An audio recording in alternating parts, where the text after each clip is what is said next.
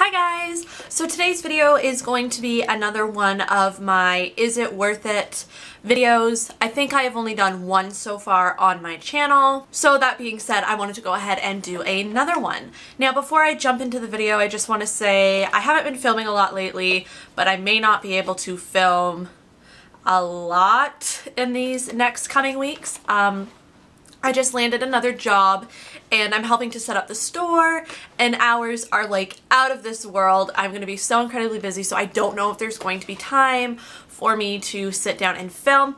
I'm hoping to sit down and film again tomorrow if at all possible. We'll see how the day goes but just le letting you guys know that I may not be able to film. So yeah, just a heads up with that. So yeah, let's jump on into this video. Alright, so the product I'm going to be featuring today, as you can probably tell by the title, is the Urban Decay Naked 3 palette. Now, I had had my eyes on this palette for the longest time. I'm a huge fan of rose gold. I just love the way that it looks. I've always really loved it, and I didn't realize that I liked it so much until I saw this palette. Now, I'd seen it going around on YouTube, and I'd seen other people talking about it, and I just fell in love with all the colors instantly. So my friend and I took a little road trip on down to Burlington, and we popped by Sephora, and of course I snatched it right up. I wasn't going to, it was between the Naked 3 and the Smashbox palette, but you know, the Naked 3 kind of won me over. So if you don't know what it looks like, this is the packaging that it comes in. Again, the packaging is a really, really nice rose gold packaging. And I'll just read you quickly what it says on the back. It says, get ready to experiment with 12 totally new and insanely beautiful rose-hued neutrals. All exclusive to the set, choose from every finish imaginable, ultra smooth mattes, gorgeous pearls, and glimmering metallics. From the palest shimmery pink to the deepest black matte with red micro glitter, aptly named Blackheart. These neutrals will make you want to get naked all over again. And as they said, all of the colors in, I just hit myself in the mouth. All of the colors in this palette are exclusive to the palette. I guess some of the other Naked palettes had colors from each other within them and this is just completely all exclusive to this palette. Along with the palette you get four sample size primer potions. You get the original Eden, Sin, and Anti-Aging and it claims that each sample pod holds about a week's worth of primer. And in addition to the primer pods, you get a dual-ended eyeshadow brush. So this is what the actual packaging of the palette looks like. It's just, again, a rose goldy pinky color, and it has like rippling and I guess you say it's like a pretty much a tin container but like the packaging is uber uber cute and pretty durable. I haven't dropped it yet, thank God, or anything like that, but I think it would probably stand up to a little bit, so you could probably travel with it, but again, that would be up to you whether or not you wanted to take your palette with you. So as you can see, it does come with a eyeshadow, a dual-ended eyeshadow brush. I've already used it, so it's a little bit messy, but I'm just gonna go ahead and take this out of there. That was a good catch. I caught it with my legs. And so if you haven't seen the colors yet, this is what they look like.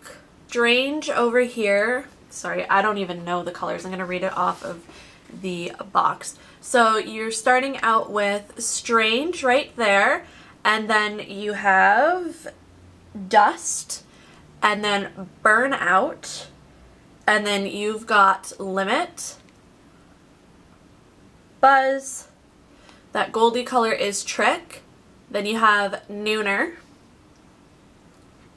Liar, Factory, Mugshot, Dark Side, and lastly, Blackheart. So I will go ahead and I will do a couple of swatches of this for you. Making this incredibly hard on myself for some reason. I just couldn't figure out how to show you guys the colors of these. So let's try this again. This is like my third time trying this. So first we have Strange. It's just a really, really pale pink color, which is great for a base color. And it's kind of hard to show up on the skin, well, at least on my arm. And then after that, we have Dust.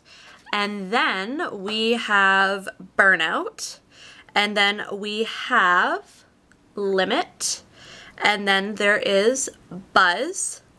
And then we've got Trick, which is a really, really nice gold color. And by the way, I only really swatched my finger into the palette at least once and then rubbed it onto my arm. So these are heavily pigmented as you can see. So that right there is Trick. Then we move on to Nooner, which is my absolute favorite color, especially for blending things out.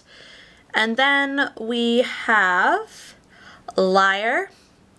We've got Factory, Mugshot, Dark Side, and then Blackheart, which is the darkest with the um, red uh, micro glitters in it.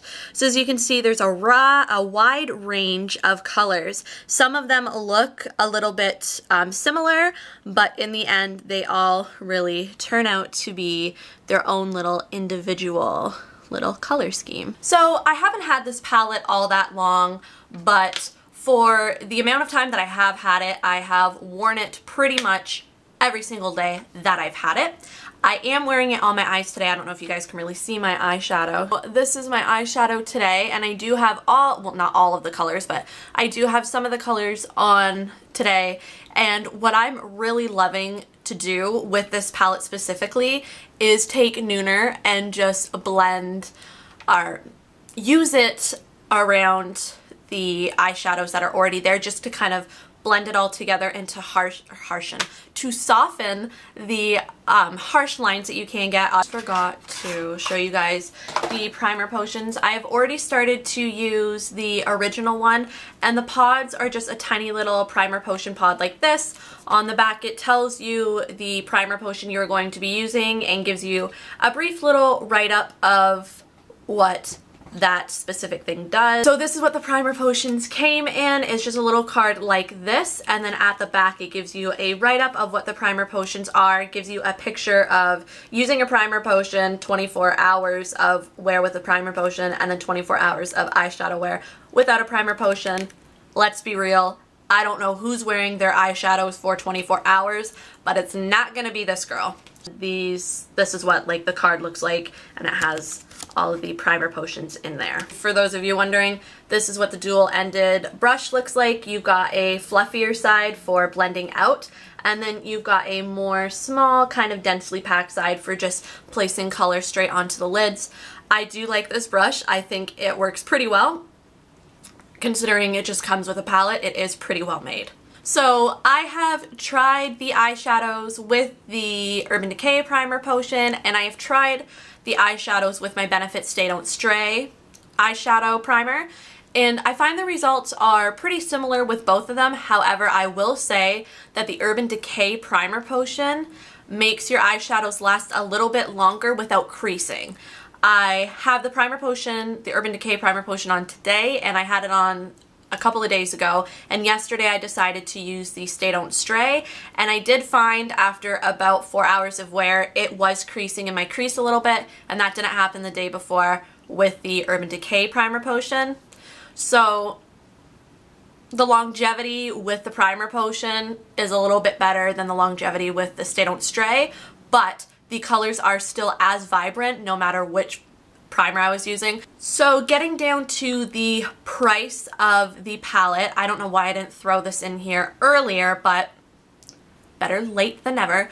Um, I got it from a Sephora in Burlington. If you guys don't know, I do live in Canada, so the prices are going to be a little bit more expensive here than it would be if, say, you got it in the States. The palette on its own was $62 before taxes, so after taxes it came to $70.06. I know a lot of you guys are thinking that dropping $70 for a palette is absolutely redonkulous, and trust me, I've had a lot of friends say, you spent what on a palette?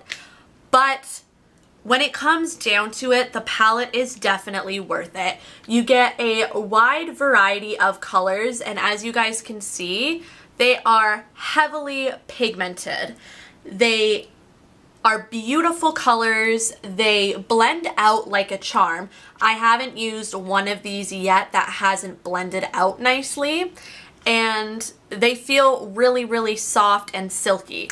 Obviously the ones with the glitters feel a little chalky, like on your fingers, but I don't notice that on my eyelids. So it's pretty much safe to say that the Naked 3 palette is by far one of my absolute favorites. I get so excited every time I go to use it because the number of possibilities and the number of looks that you can make with this palette is seriously endless. So, is it worth it? I definitely think getting the Naked 3 palette is definitely worth the $70.06 if you're in Canada, obviously. There's just so many different eyeshadow looks that you can do, as I've said previously. And if you are a huge fan of rose gold hued eyeshadows or rose gold hued anything, you definitely are going to want this palette in your life. I am absolutely in freaking love with this palette. I will seriously be using it forever but I do think that these eyeshadows are going to last a very long time. It is so heavily pigmented and they blend out like a charm that you you're not going to be sitting there forever trying to build up the color. The color goes on nicely and they stay on for a long time. And even though it is $70, you get quite a bit for it. I mean, you get the palette with how many colors? 12? You get the palette with 12 colors, you get four sample primer potions, and you get a dual-ended eyeshadow brush. So in a way, it's worth the $70. The results are there, the quality is there, it is worth the $70. So yes, I would say the Naked 3 palette is definitely worth the money. It's worth the hype. If you're into that kind of stuff and you like being able to create a neutral eye, then by all means get yourself the Naked 3 palette. Because even though it says it's a neutral rose gold type of thing, you could easily do an intense eyeshadow look with this simply by using like these last four colors here and adding a, a, little bit of a light in there somewhere. You could easily do something more dramatic. So that was my Is It Worth It? I hope you guys found this at least slightly helpful, especially if you've been dickering with buying the Naked 3 palette. If you guys want to see some makeup looks using the Naked 3 palette, then give this video a thumbs up or let me know in the comments below or on my Facebook page or on my Instagram page. All of the links to those sites you can find in the uh, about section of this video. But if you guys have ideas, please let me know and then I can look through them and kind of decide which one I want to do next because I have a whole bunch of ideas, but sometimes I like to know what you guys want to see because then it gives me even more ideas and motivation and inspiration and what have you. So yeah, thank you guys so much for watching. If you haven't subscribed to my channel, do so. That way you will know exactly when a new video is up. And yeah, I'll see you guys in my next one. Bye!